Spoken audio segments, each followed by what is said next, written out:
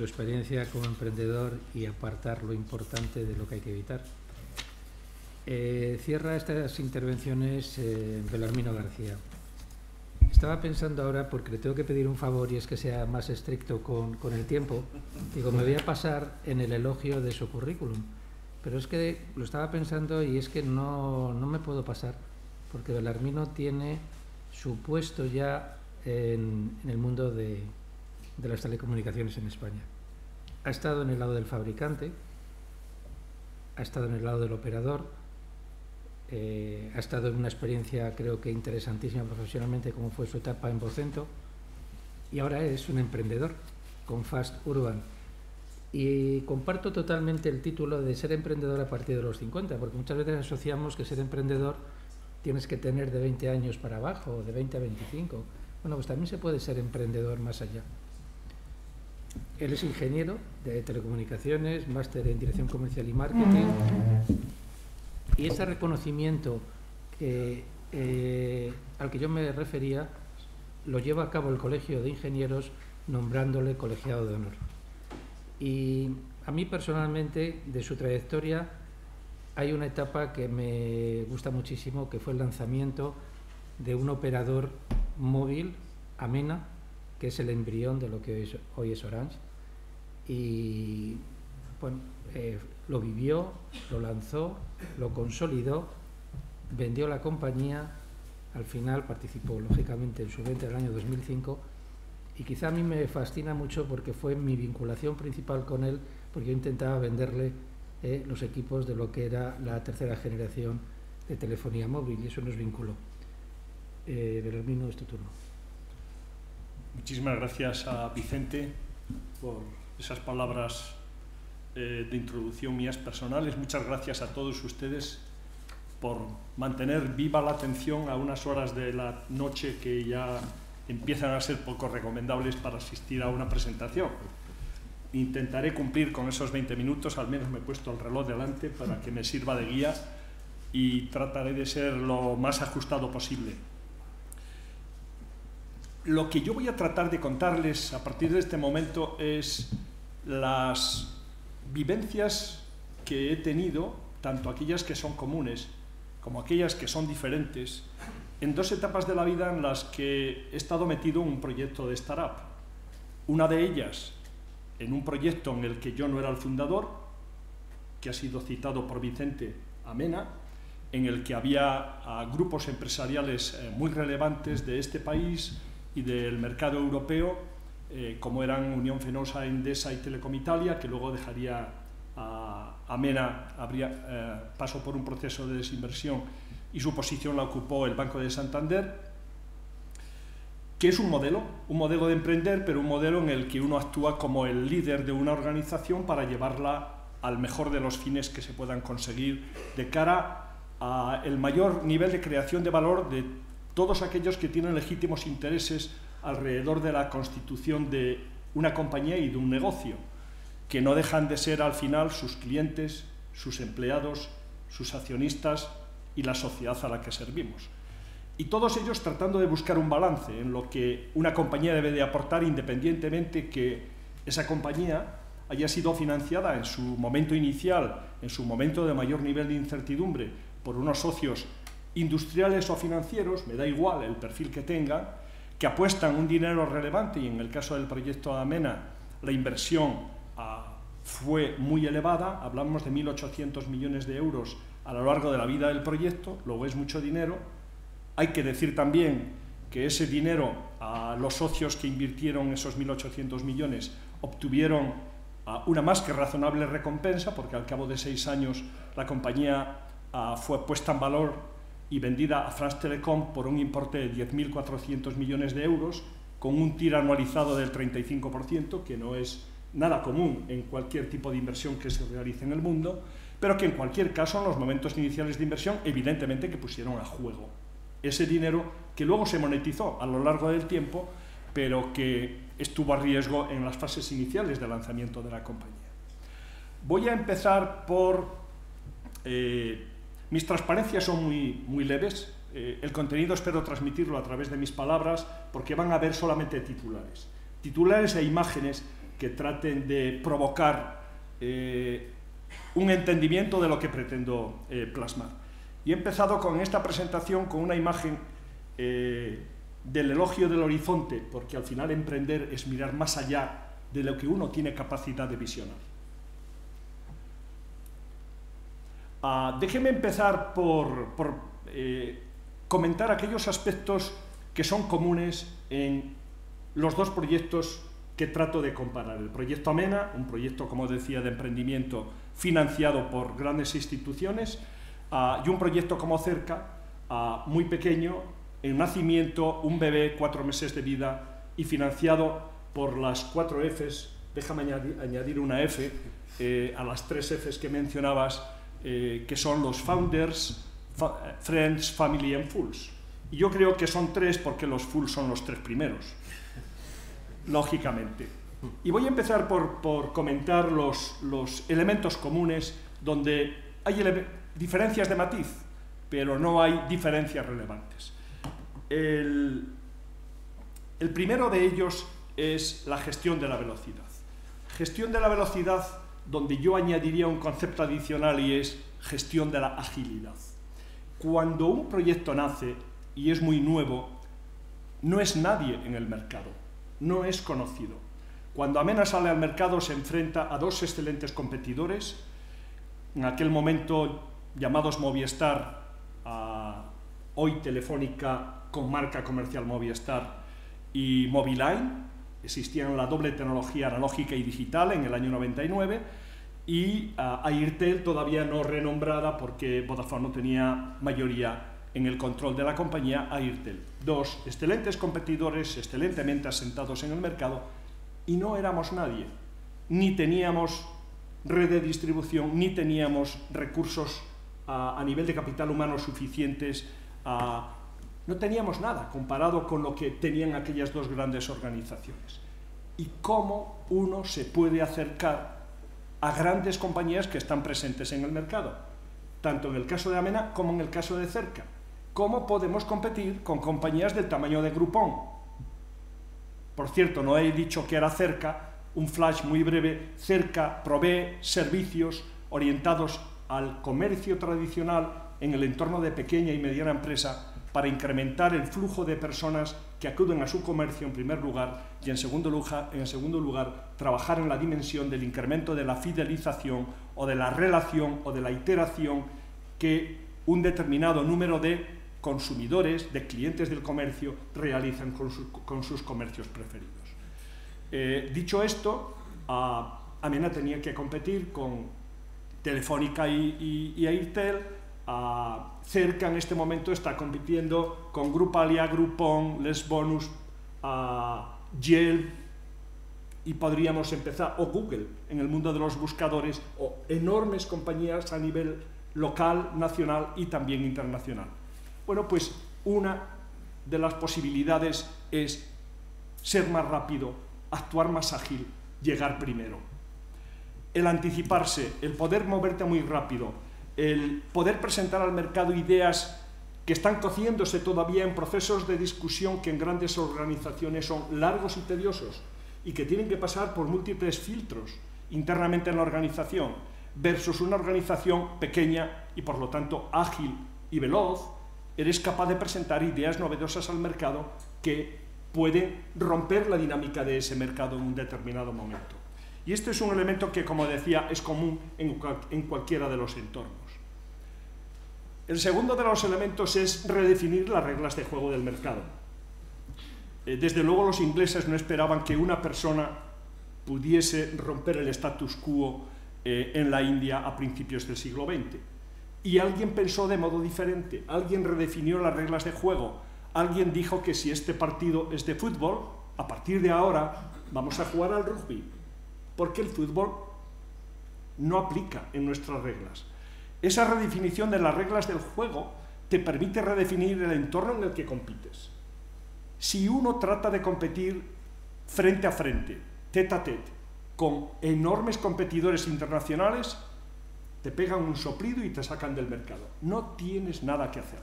La única posibilidad de poder competir con organizaciones con más capacidades, con mayor volumen de capital humano, con mayores recursos financieros, con mayor relación con sus clientes, con, con, con, y podría seguir citando elementos que son mucho mayores de los que tu propia organización tiene, eh, automáticamente te pecan un soplido y te expulsan del mercado. O simplemente te compran por dos duros y les ha costado nada de dinero y tan fagotizado a partir de ese momento. Pero si redefines las reglas de juego, si buscas elementos en tu estrategia de innovación y competitiva que te hacen diferencial, estás creando un nuevo mercado, estás creando nuevas reglas de juego. Y eso es vital en cualquier entorno, con grandes eh, instituciones eh, de inversión o con las cuatro Fs y con muy poquito dinero. El, tercero, el tercer punto que es común eh, en estos dos tipos de proyecto es que yo creo que aplica a cualquier aspecto de la vida en estos momentos que nos ha tocado vivir. Creo que por fortuna lo que manda es el cambio, pero mucho más en un proyecto nuevo. En un proyecto nuevo uno tiene una visión del producto o servicio que quiere entregar al mercado, pero esa visión sufre cambios a lo largo del tiempo porque el mercado uno lo visiona de una determinada manera, la competencia uno lo visiona de una determinada manera. Pero todo eso no lo ha visto suficientemente claro uno o es cambiante, o alguien te está cambiando las reglas. Como decía Juan José anteriormente, y más te vale ocuparte de que antes de que te las cambien, tú estés cambiando internamente en el modo en el que tú te aproximas al mercado. Luego otro de los aspectos relevantes es convertirte en un auténtico gestor de cambios. Las organizaciones al principio son tremendamente ágiles, porque no hay base instalada.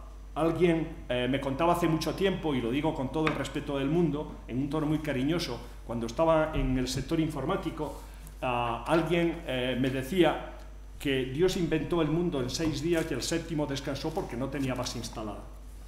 Si la hubiese tenido, probablemente le habría llevado algún día más o algunas horas más. Pues lo mismo pasa en las organizaciones. En las organizaciones, eh, al principio todo es agilidad, todo es falta de procedimientos, decisiones muy rápidas, pero luego nos vamos anquilosando. Tienes que estar lubricando a la organización mucho antes de que la herrumbre empiece a aparecer y ya esa organización no funcione con la agilidad que venía acostumbrada. Y eso lo hay que anticipar, y eso lo hay que predicar, y lo hay que predicar con el ejemplo uno tiene que ser el primero capaz de adaptarse a ese nivel de cambio y, como decía, esto es común en todas partes. Eh, voy a hablar de algo que tengo que controlar el reloj porque podría estar hablando toda la noche y ser peor que Fidel Castro y dormirles a todos hasta altas horas de la madrugada y probablemente tomaríamos el café aquí eh, con unos churros y podría estar hablando todavía y es toda la parte que tiene que ver con la gestión de las personas y la gestión de la cultura, la cultura interna que se vive en una organización. Ah, y es un elemento común también. Si algo distingue a las organizaciones de éxito de las que no lo alcanzan, fundamentalmente es su gente. Las compañías no existen, somos entes que estamos recogidos en el registro mercantil, que declaramos Hacienda, eh, que cumplimos con las normas del entorno en el que nos desenvolvemos, ah, pero no existimos, somos un ente etéreo. Lo relevante somos las personas. Y las personas son las que marcan la diferencia, son las que aportan valor, son las que crean la innovación, sobre todo la, la innovación disruptiva, aquellos que crean nuevas reglas de juego. Y esas personas tienen dos facetas fundamentales para conseguir el mayor nivel de output, el mayor nivel de, resultados en su trabajo. Uno tiene que ver con un elemento mucho más técnico y es todo el conjunto de conocimientos y habilidades que cada uno de nosotros debemos de desarrollar para desempeñar del, mejor modo la responsabilidad que tenemos dentro de, nuestras organizaciones. Ah, el segundo de los elementos es el más complejo de todos de gestionar y es el que tiene que ver con la gestión de los corazones. El gestionar el corazón de las personas es posiblemente el elemento más crítico en el éxito de las organizaciones. Es lo que hace que la energía potencial, que son las capacidades, las habilidades y los conocimientos, que puede tener un techo, se entregue en todo su valor máximo y se convierta en cinética. Permítame que hable en términos energéticos porque estamos en un mundo de ingenieros esta tarde. Eh, si no, hablando de personas, no hablaría de ello. Pero lo que transforma realmente la energía potencial que llevamos dentro en cinética es el corazón, es nuestra voluntad, es la capacidad de enamorarnos, es la capacidad de vivir con pasión aquellos proyectos que vivimos. ¿Y cómo se gobierna esto? Pues eh, fundamentalmente a través de los valores que nos queremos dar, la práctica de dichos valores y la gestión de la cultura interna. Y eso es lo que al final termina consiguiendo que dentro de nuestra organización las personas contribuyan al máximo nivel y terminen viviendo el proyecto con el mayor nivel de pasión. Queda paso a la siguiente transparencia de elementos comunes y al final lo que marca la diferencia de los proyectos es el valor de las personas y la pasión por el proyecto en el que se trabaja. Y hasta aquí diría que estarían aquellos elementos, seguro que hay más, más relevantes que para mí son comunes independientemente del perfil del proyecto. Y déjenme ahora pasar rápidamente, para no pasarme de los 20 minutos, en mi parte final que trata de repasar aquello que tiene que ver con las diferencias. ¿Qué diferencias existen entre gestionar una startup o fundar una startup y gestionarla a continuación? Lo primero de ello es que una startup no tiene grandes órganos de gestión, no tiene consejo de administración, no tiene consejos asesores, no tiene, no tiene, no tiene. Estás tú y tu equipo de fundadores, en mi caso, con el enorme placer de compartir el, proyecto como fundador de cerca con otra persona que somos eh, excelentemente complementarios, porque yo aporto, yo creo, la parte de dejarme que lo defina en un tono excesivamente elevado, pero de joven experto, y la otra persona es un experto joven. Eh, con lo cual intentamos complementarnos lo mejor posible. 60 años contra 32. Eh, visión de la experiencia previamente adquirida y por lo tanto pasar muchas veces todas las ideas innovadoras por el tamiz de la realidad, por el tamiz de la experiencia. La otra persona, a frescura, atrevimiento, eh, asunción de mayor nivel de riesgo, pensar out of the box, no estar limitado por nada, eh, prácticamente, y por lo tanto aportar altísimos niveles de innovación en lo que debemos de, realizar. Bueno, pues aparte de ese rumbo, eh, que los dos marcamos conjuntamente y el equipo gestor que forma parte de cerca, pero al final es un equipo reducido el que marca el camino. Y esa es una enorme diferencia. Una gran compañía está perfectamente estructurada, tiene consejo de administración, tiene un comité ejecutivo, te reúnes al principio en el comité ejecutivo una vez cada 15 días, ah, discutes con tus socios, personas muy relevantes que aportan experiencia, que aportan muchas cosas. Aquí Dos personas, chequeo con el equipo gestor y avanti. Tú marcas el camino, pero también asumes el riesgo de llegar al destino. Estás mucho menos soportado. Tú fundamentalmente estás asumiendo mayoritariamente, evidentemente los fundadores, cuando hay más de un fundador, y el equipo gestor, ah, que es limitado porque las estructuras de la compañía ah, son, muy, son cortas, razonablemente importantes para una startup nosotros que tenemos cuatro meses en el mercado somos 16 personas a día de hoy. El equipo gestor somos cinco. Y creo que tenemos largo recorrido para seguir siendo cinco. No tenemos una estructura muy amplia. Luego, evidentemente, el equipo asume un mucho mayor nivel de riesgo para, llevar para llegar al destino. Es tremendamente relevante, por lo tanto, estar muy bien acompañado en este proyecto, en esta aventura que uno vive. Y por lo tanto, el equipo, los compañeros de viaje, son críticos para alcanzar el éxito en el proyecto. Y son críticos para que te den un mínimo nivel de soporte, porque habrá momentos de dificultades. Ah, no creo que haya existido jamás ninguna startup que no haya pasado por momentos críticos, por momentos donde se está jugando eh, el ser en muchísimas ocasiones. Pero también, además de pasar por esos niveles de dificultad, habrá muchísimos momentos de éxito. Y esos momentos de éxito ah, son momentos que hay que celebrar con todo el equipo porque una de las cosas buenas que tiene la faceta de emprender es el volumen de vivencias por segundo que uno es capaz de acumular y afortunadamente en las que he tenido hasta ahora y confío que las que, las que me esperan de cara a futuro, el balance de eh, las vivencias por segundo positivas ah, sigan dominando de modo mayoritario aquellas que se viven como niveles de dificultad. Y al final, y con esto uh, me gustaría cerrar pasando a dar eh, finalmente un comentario último. Al final, al final, al final, lo más importante, lo que marca la diferencia, es el equipo.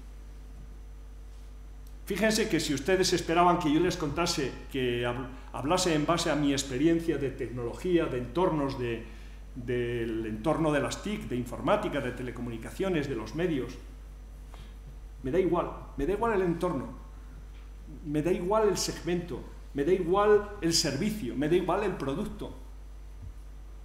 Lo relevante somos las personas y somos los que al final seremos capaces de generar esos productos, esos servicios, ese entorno que hagan que tu proyecto sea diferencial versus otros muchos que existan en el mercado y que seguirán existiendo, porque habrá mercado para todos. Un último comentario uh, que no tenía recogido en la presentación y que se me ha ocurrido cuando veía el espectro de personas que están aquí presentes. Y hay un número razonablemente importante de personas jóvenes, ingenieros jóvenes, a los que evidentemente animo a emprender. Pero el número de personas que pasan de los 35 eh, es mayoritario. Y no he hecho un conteo en cuanto a porcentaje, pero creo que es mayoritario.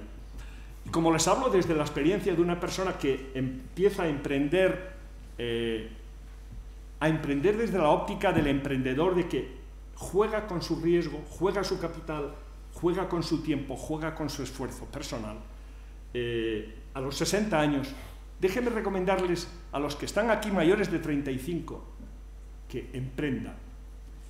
Creo que hay múltiples razones para emprender. Uno, a nivel personal, creo que es una de las experiencias más positivas independientemente del resultado del proyecto que uno puede vivir en la vida. Y estoy incluyendo el fracaso del proyecto, no solamente el éxito del proyecto. Estoy incluyendo la posibilidad de fracasar porque en toda iniciativa emprendedora, de cada 10 proyectos, triunfan dos y mueren ocho. El nivel de mortandad de un proyecto es elevadísimo, Luego, lo primero que hay que hacer cuando uno va a emprender es que tiene que tener claro que el proyecto se puede morir. Y lo primero que tiene que tener claro es que o entiendes que no pasa nada si se muere, o mejor no emprendas, no empieces. Si sales con el temor de que puedes fracasar, no inicies el proyecto. Pero si lo asumes y lo tienes claro, es una de las mejores experiencias vitales que uno puede tener en, el mundo, en el mundo profesional, vamos a decir. En segundo lugar, cuando uno llega a mi edad, a los 60 años, cuando uno ha tenido la fortuna que yo he tenido a lo largo de mi vida profesional, de haber recibido muchísimo más de lo que he entregado a la, a la sociedad y a las empresas que me han dado la oportunidad de trabajar, uno se siente con un cierto nivel de obligación de devolver a la sociedad algo de lo que le ha entregado. Siempre una pequeña parte. No tiene nada que ver con lo que uno ha recibido. Pero uno le puede entregar algo a la sociedad. Le puede entregar un servicio que dinamice un entorno que está pasando por dificultades. El mundo de la pequeña y mediana empresa del negocio tradicional lo está pasando, está pasando por dificultades. Creemos que podemos aportar valor a estos entornos y a este mundo. Las personas que colaboran contigo en el proyecto, les puedes propiciar el desenvolverse en un entorno donde les das altísimos grados de libertad para que aporten sus mejores ideas y para que innoven y para que lo transformen en algo real desde el punto de vista de producto o servicio en el mercado. Y en un momento además como el que estamos viviendo en este país en el que la destrucción de valor y se manifiesta a través de la reducción de, de empleo, está empezando a pasarnos una factura muy alta. Y una empresa como Cerca aporta poco valor, 16 empleados eh, trabajando en el proyecto, más todos los servicios que subcontratamos externamente, estamos hablando de unas 20, 22 personas trabajando full time para el proyecto. Pero ¿y si hubiese mil? Serían 22.000 en un año. Y si de esos mil, 100 tuviesen éxito y creciesen y llegasen a, hacer, a ser empresas de 100, quedarían 10.000. Y posiblemente empleos de alta cualificación y alto valor añadido. Luego creo que hay, en base a tres razones, argumentos suficientes para que de esta sala, donde debemos de estar unas 60 personas, que un 10% emprendan. Y con que emprendan 6, estaremos dando camino al nacimiento de proyectos que dentro de 5 años, ojalá que de ellos queden dos que sean ejemplo de lo que se debe de hacer a nivel internacional. Muchas gracias. Muchas gracias, Belarmino. Creo que ha sido claro y contundente tu presentación. Tenemos cinco minutos.